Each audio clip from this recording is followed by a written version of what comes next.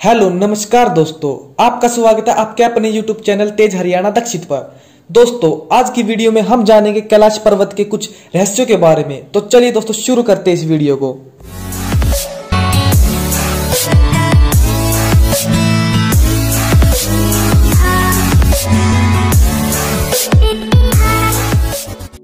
भगवान शंकर के निवास स्थान के पास स्थित है कैलाश मानसरोवर। यह अद्भुत स्थान रहस्यों से भरा पड़ा है। शिव पुराण संकट पुराण, मत्स्य पुराण, इन सभी में कैलाश खंड नाम से अलग ही अध्याय हैं, जहाँ की महिमा का गुणगान किया गया है। प्राणिक मान्यताओं के अनुसार इसी के पास कुबेर की नगरी है। यहीं से महाविष्णु के कर कमलों से निकलकर गंगा, कैलाश पर्वत की चोटी पर गिरती है, जहाँ पर प्रभु शिव उन्हें अपनी जटाओं में भर, धरती में निर्मल धारा के रूप में प्रवाहित करते हैं। ऐसा कहा जाता है कि कैलाश पर्वत के ऊपर स्वर्ग और नीचे मृत लोक है। चलो जानते हैं इसके ग्यारह रहस्यों के बारे में। कैलाश पर्वत पर चढ़ना निषिद्ध है। परंतु ग्यारहवीं सदी में एक तिब्बती बौद्ध योगी, मिलारेपा ने इस पर चढ़ाई की थी। रशिया के वैज्ञानिकों की यह report U N special magazine के 2004 के जनवरी अंक में प्रकाशित हुई थी। हालाँकि, मिलारेपा ने इस बारे में कभी कुछ नहीं कहा, इसलिए यह भी एक रहस्य ही। है यहाँ दो सरोवर मुख्य हैं। पहला मानसरोवर जो दुनिया की शुद्ध पानी की उच्चतम झीलों में से एक है और जिसका आकार सूर्य के समान है। दूसरा, राक्षस नामक झील, जो दुनिया की खारे पानी की उच्चतम झीलों में से एक है और जिसका आकार चंद्र के समान है। ये दोनों झीलें सौर और चंद्र बल को प्रदर्शित करती हैं, जिसका संबंध सकारात्मक और नकारात्मक ऊर्जा से है। यह अभी तक रहस्य ही है कि ये झीलें प्राकृतिक तौर पर निर्मित हुई या कि ऐसा इन्हें बनाया गया। धरती के एक और उत्तरी ध्रुव है तो दूसरी और दक्षिणी ध्रुव।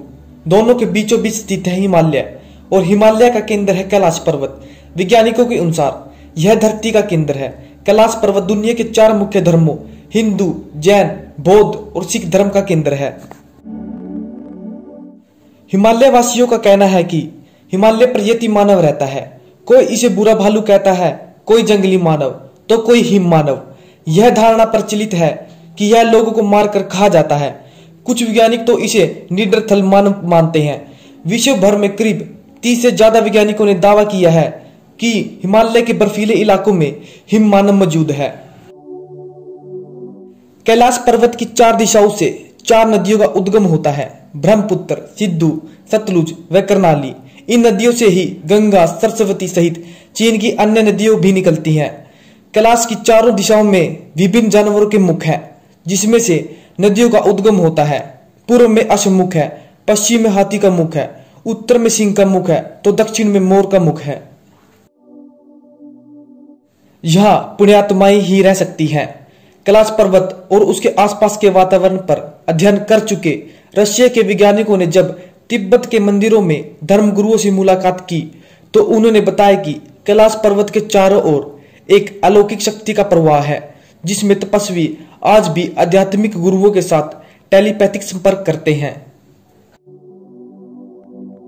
दुनिया का सबसे दुर्लभ मृग है कस्तूरी मृग।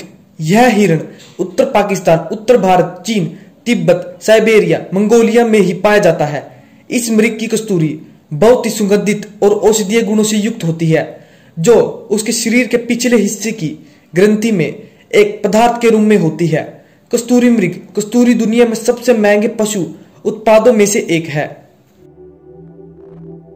यदि आप कैलाश पर्वत या मानसरोवर झील के क्षेत्र में जाएँगे तो आपको निरंतर एक आवाज़ सुनाई देगी, जैसे कि कहीं आसपास में एरोप्लेन उड़ रहा हो।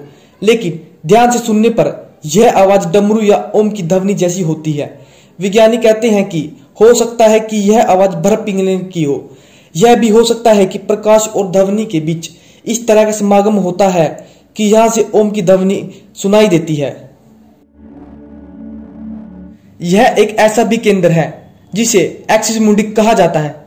एक्सिस मुंडी अर्थात दुनिया की नाभि या आकाशीय ध्रुव और भंगोलिक ध्रुव का केंद्र यह आकाश और पृथ्वी के बीच संबंध का एक बिंदु है जहाँ दस दिशाएँ मिल जाती हैं रशिया के वैज्ञानिकों के अनुसार एक्सिस मुंडी वह स्थान है जहाँ अलौकिक शक्ति का प्रवाह होता है और आप उन शक्तियों के साथ संपर्क कर सकते हैं कैलाश पर्वत एक विशाल काय पिरामिड है जो सौ छोटे पिरामिडों का केंद्र है कैलाश पर्वत की संरचना कंपास के चार दिक बिंदुओं के समान है और एकांत स्थान पर स्थित है, जहाँ कोई भी बड़ा पर्वत नहीं है। दावा किया जाता है कि कई बार कैलाश पर्वत पर सात तरह की लाइटें आसमान में चमकती हुई देखी गई हैं। नासा के वैज्ञानिकों का ऐसा मानना है कि हो सकता है कि ऐसा यहाँ के चुंबकीय बल के कारण होता हो। यहाँ का चुंबकीय बल आसमान से मिलकर कई बार इस तरह की चीज़ों का निर्माण कर सकता है। दोस्तों आई होप आपको ये वीडियो अच्छी लगी होगी। दोस्तों, अगर आपको ये वीडियो अच्छी लगी हो तो इस वीडियो को लाइक और शेयर ज़रूर करें। और आगे भी इसी तरह की वीडियो देखते रहने के लिए हमारे यूट्यूब चैनल तेज हरियाणा दक्षित को सब्सक्राइब करें।